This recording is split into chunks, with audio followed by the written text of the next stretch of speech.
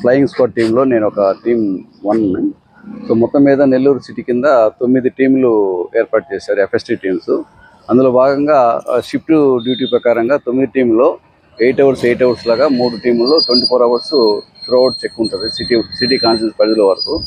So దాంట్లో భాగంగా మేము ఫస్ట్ థింగ్ ఏంటంటే వెహికల్స్ చెకింగ్ కానీ మిగతా గూడ్స్ ఏదన్నా అనాథరిగా పోతున్నా కానీ మెయిన్ అంటే మోడల్ కోడ్ ఆఫ్ కాండక్ట్. ఇక్కడ పోస్టర్స్ కానీ బ్యానర్స్ కానీ ఎటువంటి ఏదైనా పబ్లిసిటీ చేసేవన్నీ కూడా మేము వాళ్ళని అవేర్నెస్ చేసి పెట్టకుండా వాళ్ళు ఏదన్నా చేస్తే కూడా దాన్ని ఇమ్మీడియట్గా ఎన్ఎంసీకి ఇన్ఫార్మ్ చేసి దాన్ని తీసి ఏర్పాటు చేసి ఎన్నికల నియమావళిని ముఖ్యంగా వీళ్ళంతా పాటించేటట్టు మేము ఈ రెండు నెలలు మొత్తం ఈ ఏంటంటే ఫస్ట్ థింగ్ నోటిఫికేషన్ వచ్చిన కాడి నుంచి ఈ ఫ్లయింగ్ స్క్వాడ్ డ్యూటీలో నెల్లూరు మున్సిపల్ కమిషనర్ ఆర్ఓగా వాళ్ళు మాకు అపాయింట్ చేస్తే దాని ప్రకారం మేము ఈ డ్యూటీస్ కండక్ట్ చేస్తాము.